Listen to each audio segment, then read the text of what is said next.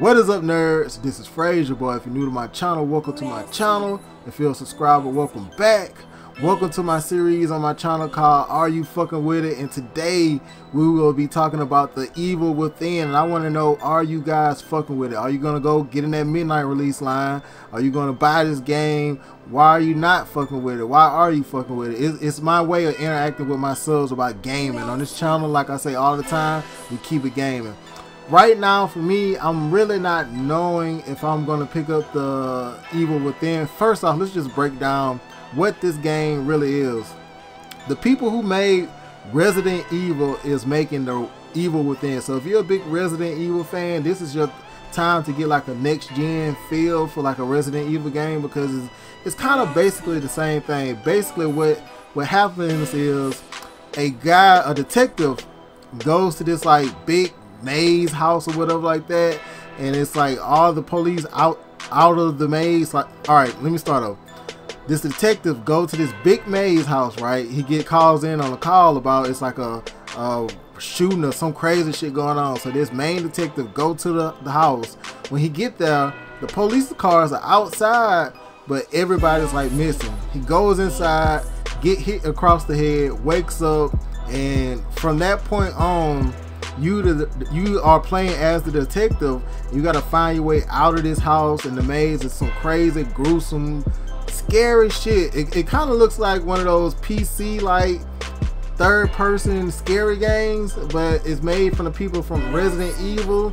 Um the only my only issue with this game and, and it's not really a big issue is it's $60 and that's not it's, it's really not a bad problem when i buy games now I, what the fuck is that? When I buy games now, I look into the replay value value of the game.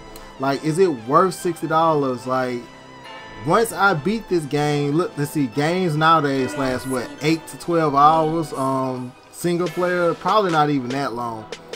You pay sixty some dollars for this game, and then after you play it for a day, that's it. You try to take it back to a GameStop, what they gonna give you like 30 20 dollars for it after like a few days? Like depending on the people at GameStop so it's like is it worth the replay value?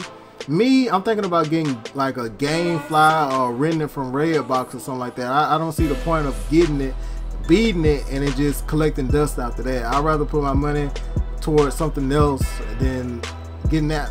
My problem with it with these like single player games that have no absolute no multiplayer no replay value is i don't think they should be that much. I think they should be like 40 dollars. So as of right now i'm not fucking with it. I might go to gamestop tuesday afternoon before or after work and see if i want to pick it up. I'm, I'm not really sure but it does look pretty good. If i do get it i will get it for the playstation 4 the graphics look amazing.